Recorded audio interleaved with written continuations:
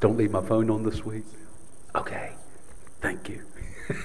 Hey, good morning, everybody. This is Alan Lehman. I'm the pastor at Trinity United Methodist Church in Chester, and uh, we're just happy that you're with us this morning. Wherever you might be in the world, we're glad that you're here. Uh, I am surrounded this morning by the ever present and socially distant uh, praise team that makes all of this possible on Sunday morning along with you.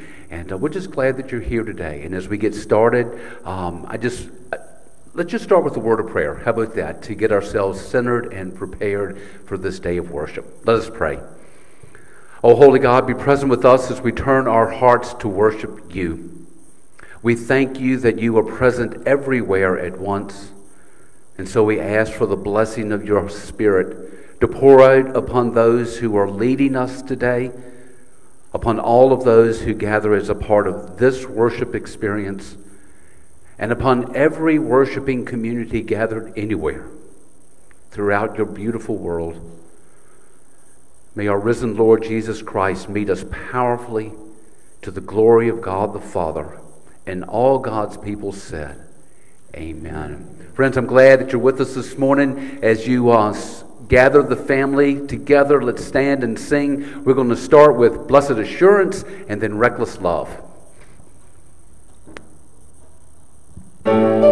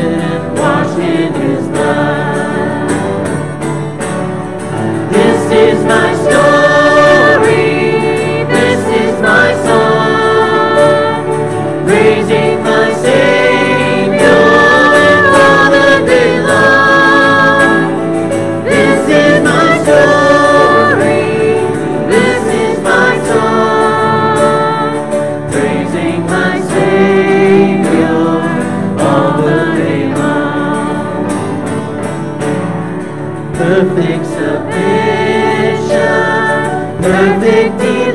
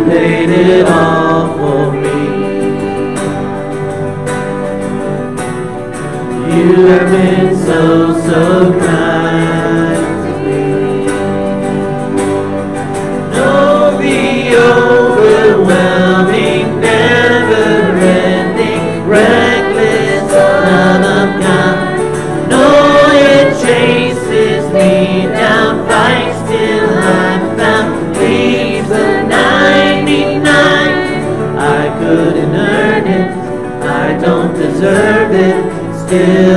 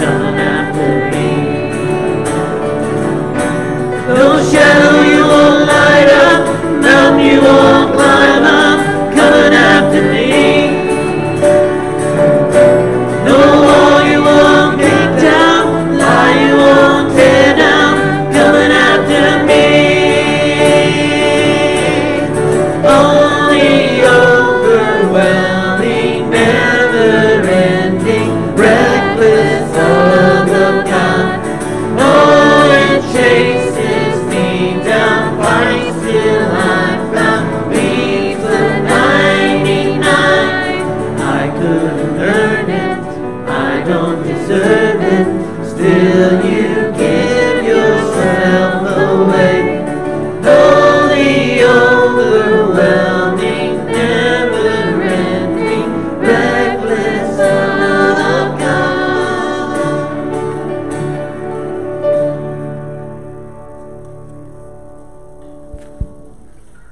was awesome, guys. I love that song. I don't know that I'm familiar with that one or wasn't before. Hey, everybody, can we give these guys a big round of applause this morning? Worship is a participatory sport. You know that, right? So wherever you are, in your kitchen or on your back porch, let's stand up and give them a round of applause.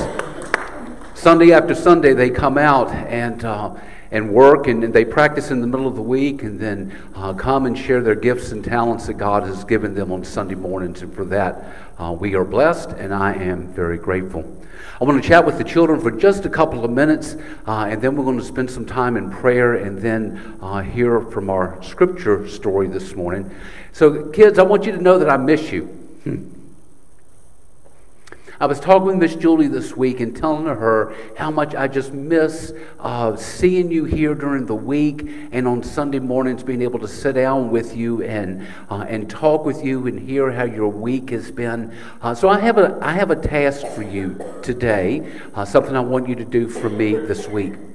You get to see me on Sunday mornings, but I can't physically see you when we gather to worship. So here's what I want you to do for me this week. It'll make my heart feel so much better. I'm going to read the scripture in a little bit. It's a story about going fishing. And I want you to listen to that Bible story, and then I want you to draw me a picture. I want you to draw me a picture of the story and, uh, and either send me your picture or you can have mom or dad take a picture of you with your picture, holding it up so that I can see you and your picture. And you can send that to me by email or text it or put it on our church Facebook page, any way that you can get it to me so that I can see you and begin to share you too with uh, the larger church family. So, will you do that for me this week? I hope so. So you hang on. We're going to pray. And, and I tell you what, if you got your prayer mats handy, maybe in your bedroom, why don't you run and get your prayer mat and then come back and you can join us in prayer and, uh, and then we'll read that scripture story. Okay? Hmm. Hey, Turner, have we gotten any prayer requests yet this morning? Uh, I'm still scrolling through it, through it here, but we do have uh, a prayer request for Hillary Champagne, who has discovered she has ovarian cancer. Um, let me quickly per- peruse here. We've got some people all over the world today. Um, that's the only one we've got in our comment thread. So. Okay, thank you. And I want to uh, lift up to our Trinity Church family uh, Harold Harvey, who uh, was readmitted to St. Mary's Hospital yesterday. Uh, and, uh, and just keep him and his wife Jean and the family uh, in your prayers, please. Friends, we are in um, we are now well into the second month. We're approaching uh, seven Sundays. Today is the seventh Sunday in which we have been um, on quarantine or the COVID sequester, uh, if you will. Um, this week we have. Um, we have passed another milestone of um, some 54,000 Americans who have died from the COVID coronavirus, and that has been in about this seven or eight week period of time. We have, uh, I think, over the weekend, earlier in the weekend, surpassed 200,000 deaths worldwide. There are about a million cases here in the U.S. that are confirmed. Uh, and all of us, I think, now know someone or know of someone uh, who, um, who has gotten the disease and the virus. And, uh, and so that's always, always present in uh, who we are and what we're doing these days. And so we're mindful of that as the church as we gather to worship, and uh, we try to uh, speak to that through the week in our ministries of, of practicing safe distance and yet gathering to be the body of Christ. Uh, and so now, as we enter into our time of prayer, uh, let us be mindful of those that are close to us and those we know of, uh, and those around the world who are grieving and struggling with this disease. Let us pray. O oh God, our healer, show your compassion for the whole human family that is in turmoil and burdened with illness and with fear. Hear our prayer, O Lord. Come to our aid as the coronavirus spreads globally. Heal those who are sick, support and protect their families and friends. Grant us your spirit of love and self discipline so that we can come together working to control and eliminate this virus. Make us vigilant, attentive, proactive in the eradication of all diseases and malaria, HIV and AIDS and, and others that create suffering and often result in death for many, many people. Hear our prayer, O Lord. God, we pray this morning that you will heal our self centeredness and our indifference that makes us worry only when the virus threatens us. Open ways beyond being timid and frightened that too easily, too easily ignore our neighbor. Continue to strengthen and encourage those in health services and in the medical profession, caregivers, nurses, attendants, doctors, all who commit themselves to caring for the sick and their families. Hear our prayer, O Lord. We pray that you'll pour out your gifts of knowledge and science to inspire and give insight and wisdom to researchers focused on developing a vaccine Sustain all workers and business owners who suffer loss of livelihood due to shutdowns and quarantines and closed borders. Protect and guard all those who must travel. And Holy God, this day we pray that you will guide the leaders of our nation and all the nations, that they speak the truth, halt the spread of misinformation, act with justice so that all your human family may know healing. Heal our world, heal our bodies, strengthen our hearts and our minds, and in the midst of turmoil, give us hope and peace. This we pray, Almighty God. Holy One, we pray this morning too for your church family here at Trinity Church and across the nation and around the world. Give us patience to continue to worship you in new and creative ways that stretch our boldness and yet experience your reckless love in ways we may never before have imagined. Pour out your healing touch on all those this day who suffer physical illness, who suffer from grief, who long for companionship, who seek meaning in their lives, who look for love and acceptance.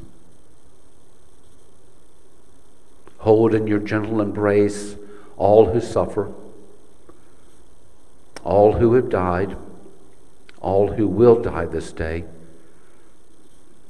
Remember all your human family, the entire human race, and all your creation in your healing and restorative love. Hear us now, O Holy God, as we join together wherever we are in the world, in one voice to pray the prayer that Jesus taught us Our Father, who art in heaven, hallowed be thy name. Thy kingdom come, thy will be done on earth as it is in heaven. Give us this day our daily bread, and forgive us our trespasses as we forgive those who trespass against us. And lead us not into temptation, but deliver us from evil. For thine is the kingdom, and the power, and the glory forever. Amen. Friends, before we turn to our scripture reading this morning, I want to uh, give an acknowledgement, a, a, thank you to those of you who have been uh, sharing our uh, online presence. Uh, those of you who have been sharing our Facebook worship services and our weekday prayer services. Um, this week we began a new uh, midweek feature um, looking ahead to Sunday mornings. Um, many of the, the, for many of us traditionalists, the, uh, the music that we play here on Sunday mornings might be a little bit different. So uh, we've started putting together a midweek message where it features one of the, the songs that we do on Sunday. And uh, so we appreciate and are grateful that you are sharing this good news with others because the, the reach of the church is much beyond just the walls of the sanctuary, and the need of people for the love of Jesus Christ is global. It is universal. And you can be a part of sharing that good news. And so, for those of you that do, I thank you. For those of you who haven't yet, I encourage you to do so. Hmm. Our gospel lesson this morning continues the story of resurrection. And this is from the 21st chapter of John's Gospel. We'll be reading verses 1 through 14. May God add a blessing to the reading and the hearing and the understanding of this word. Later, Jesus himself appeared again to his disciples at the Sea of Tiberias. This is how it happened Simon Peter, Thomas, called Didymus, Nathanael from Cana in Galilee, Zebedee's sons, and two other disciples were together. Simon Peter told them, I'm going fishing. And they said, We'll go with you. They set out in a boat, but throughout the night they caught nothing. Early in the morning, Jesus stood on the shore, but the disciples didn't realize it was Jesus. He called to them, Children, have you caught anything to eat? And they answered him, No. Jesus told them, Cast your net on the right side of the boat, and you will find some. And so they did. And there were so many fish that they couldn't haul in the net. Then the disciple whom Jesus loved said to Peter, It's the Lord. And when Simon Peter heard it was the Lord, he wrapped his coat around himself, for he was naked, and jumped into the water. The other disciples followed in the boat, dragging the net full of fish, for they weren't far from shore, only about 100 yards. When they landed, they saw a fire there with fish on it and some bread. Jesus said to them, Bring some of the fish that you've just caught. Simon Peter got up and pulled the net to shore. It was full of large fish, 153 of them. Yet the net hadn't torn, even with so many fish. Jesus said to them, Come and have breakfast. Now, none of the disciples could bring themselves to ask him, Who are you? They knew it was the Lord. Jesus came and took the bread and gave it to them. He did the same with the fish. This was now the third time Jesus appeared to his disciples after he was raised from the dead. Friends, this is the word of God for us, the people of God. Thanks be to God.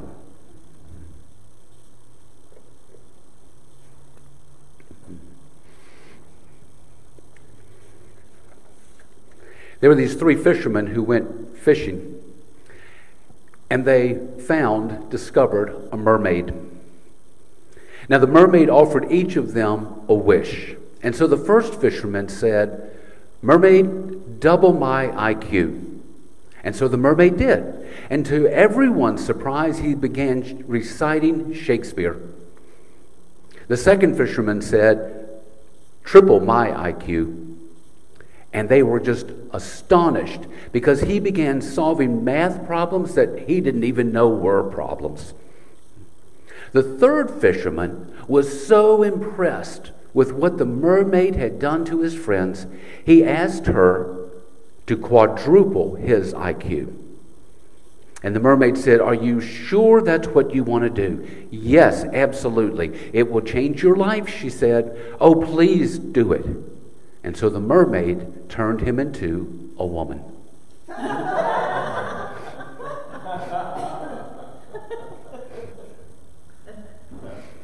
this little story is funny, but fishing is serious business. Here in Virginia alone, along uh, the coastal part of the state and over on the eastern shore combined, the fishing seafood industry is worth nearly a billion dollars a year. And not only does fishing provide uh, physical sustenance, the food that we enjoy eating so much, but it also provides nurturance for the soul.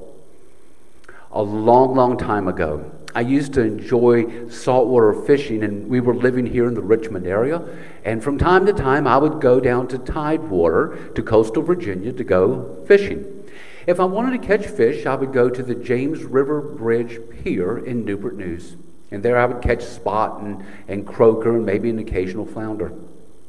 But if I wanted to just rest in nature, if I wanted to spend time thinking about the meaning of life, I would go to a spot along the Colonial Parkway, sit on the riverbank, and feed the crabs. Fishing can be nurturing for the body and for the soul. In this morning's account of this resurrection appearance, the group of seven disciples, led by Peter, have gone days, quite possibly even weeks, without experiencing the risen Christ. I don't think it's probably uh, too strong a word to say that they were in despair. Their lack of contact with Jesus, not seeing him or talking to him or being able to spend time with him, was taking its toll. Peter once told Jesus, We've given up everything to follow you, and now Jesus is gone, and they're all left behind, feeling as if they don't have anything or anyone. It's just not the same without him. We've now gone seven Sundays, seven Sundays, unable to gather together as a faith family as we're accustomed to. We are, and for some of us, it has begun to take its toll on us, this absence that we experience. And like the disciples, I think most of us know and understand what it's like to lose someone that we love. Someone who has taught us and counseled us, guided us, loved us one who could see things in us that we never saw in ourselves, someone who brought out the best in us. And when they're gone, for a period of time, we are at a loss as to what to do.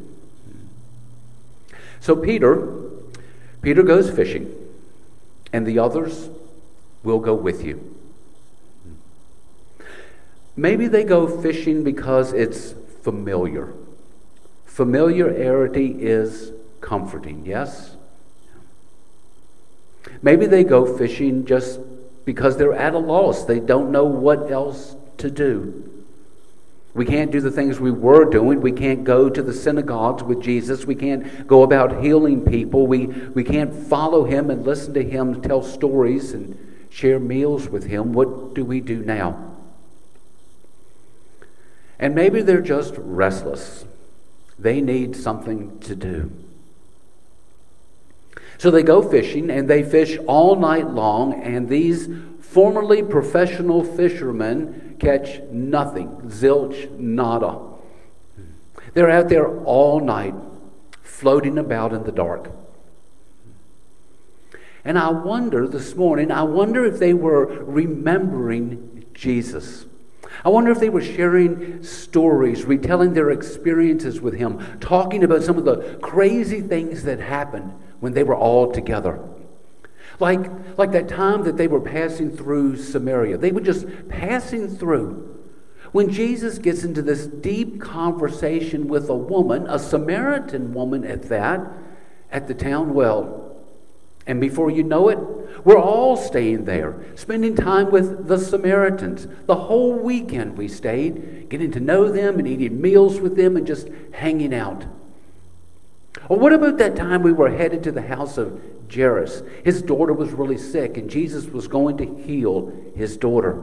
And as we passed through the market in town, it just slammed with people. There are just crowds everywhere when all of a sudden Jesus stops and says, Somebody touched me, and power went out from me.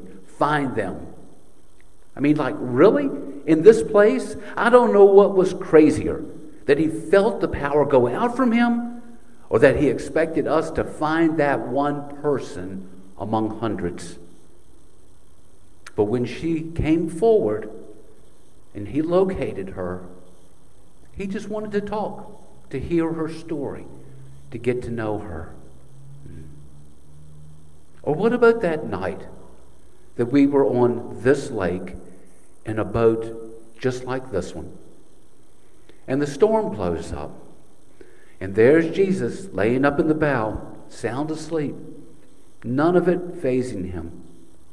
We were scared to death and woke him up, and he sits up in the boat and says to the wind, Peace peace. And the wind stops blowing. Hmm.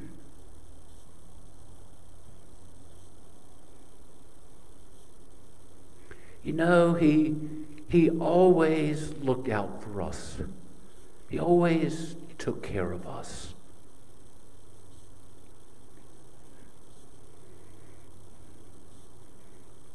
And for the rest of the night, they flowed in the darkness silently remembering, pretending to fish.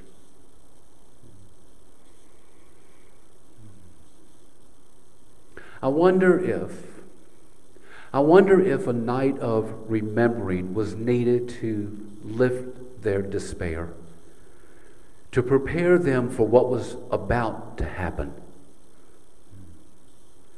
Sometimes I think we have to remember how blessed we've been in order to, to recognize how fortunate we are right now.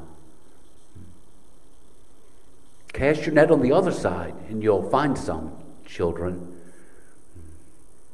They could not possibly have known what was in store for them. An abundant catch of fish, breakfast on the beach with Jesus, and a new calling. Those seven disciples accept his invitation to cast here and reap an abundant harvest. They accept his invitation to share a meal together like old times and see him, recognize him in the breaking and blessing of bread and fish on the beach. The Word of God comes to us as invitation, an opportunity to live into it, to make it real in our lives. God's Word incarnate in the flesh happens when we trust the Word and accept the invitation to be, to be like Christ, to be a participant in what God is doing, to contribute to God's mighty acts in the world. When they had finished eating, Jesus and Simon Peter take a little walk. And Jesus asked Simon Peter, He said, Simon, son of John, do you love me? And Simon responded, Yes, Lord, you know I love you. Jesus said to him, Feed my lambs. Jesus asked a second time, Simon, son of John, do you love me? Yes, Lord, you know I love you.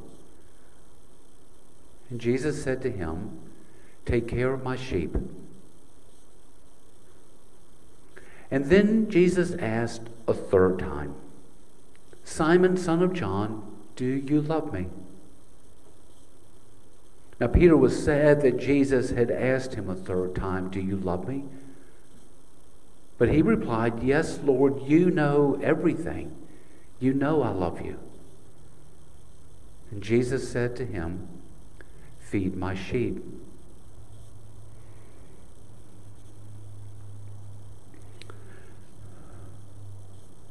The invitation to feed my sheep is a both and invitation. It's a call to both feed hungry bodies and feed hungry souls. It's what happens that morning there on the beach. From the moment that Jesus asked the floating fishermen, Have you caught any fish? He's ministering to their physical need for food and their spiritual need for love. And sometimes I wonder if we, we miss that part of feeding my sheep. Providing fish lifts their spirits, but it's the realization that Christ is present with them that takes them over the top. When Peter hears the disciple whom Jesus loves say, It's the Lord, he jumps out of the boat and swims ashore. He's so excited. Sharing that fresh meal around a warming fire sustains their bodies. Yet what brings them joy in all of that is being in the presence of Christ. And we get this, right? We know this. We understand this.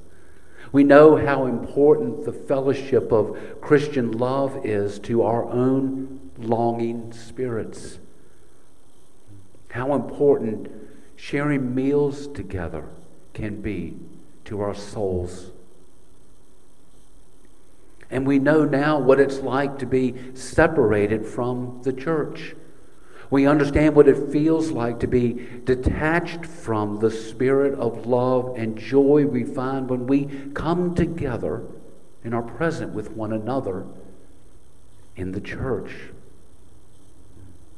The dark night of COVID sequester has made us realize this how we long for loving accepting relationship.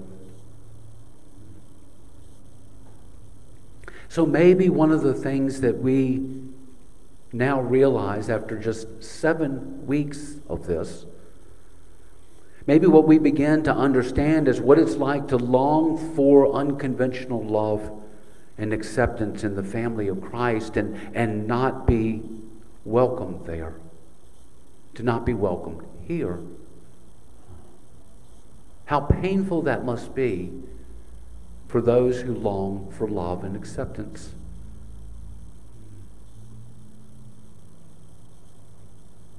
It took a dark night on the water for the disciples to realize that they could not go back to their old way of life. On the water, they remembered Jesus. They remember what he did to them and for them, the transformation they underwent as people. His willingness, no, not strong enough word, his desire to do anything for them, anything they needed. The love he gave, asking nothing in return, that reckless love, just inviting, always inviting. Come, follow me. Love one another as I have loved you. In the light of the morning, it was a, it was a little Easter. It was a resurrection moment. To honor Christ, to be his disciple, having given up everything. That is to claim that Christ is the most important thing in my life. Meant beginning again. Sharing the love with a hungry, hurting world. This, to feed my sheep this was their calling. Friends, might we be at a resurrection moment? Might we be in the midst of our own little Easter, a place of beginning again? Pressed by the solitude and reflection of this season of the COVID sequester are we ready to answer the call of Jesus? To move from what we get to what we can give? To grow from what I get from church to what I can contribute to the body of Christ? Is Christ calling you? Feed my sheep.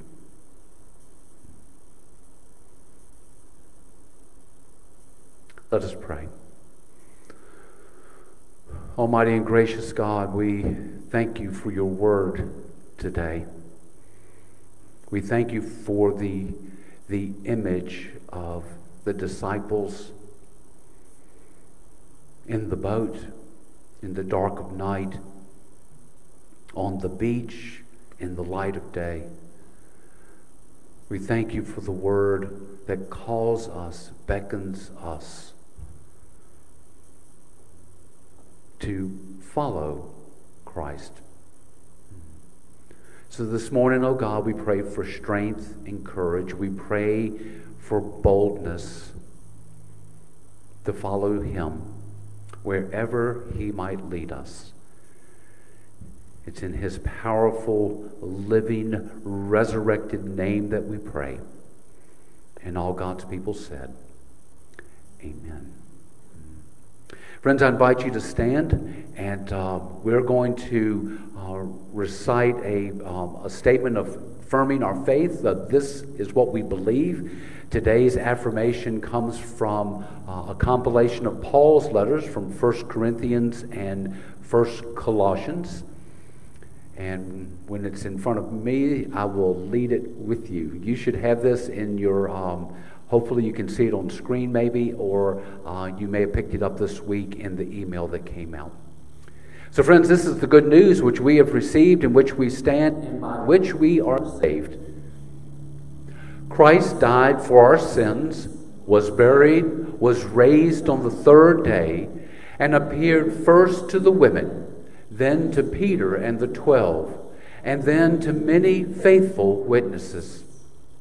We believe Jesus is the Christ, the anointed one of God, the firstborn of all creation, the firstborn from the dead, in whom all things hold together, in whom the fullness of God was pleased to dwell by the power of the Spirit. Christ is the head of the body, the church, and by the blood of the cross reconciles all things to God. Amen.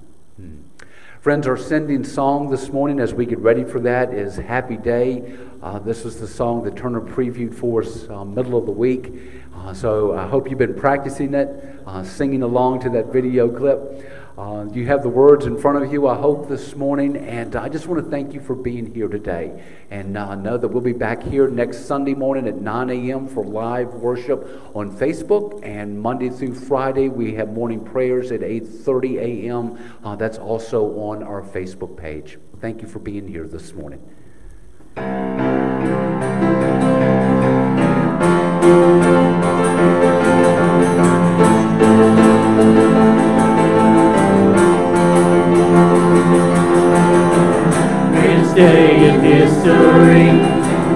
Death is beaten, you have rescued me. Sing it out, Jesus is alive. Empty cross, empty grave. Life eternal, you have won the day. Shout it out, Jesus is alive.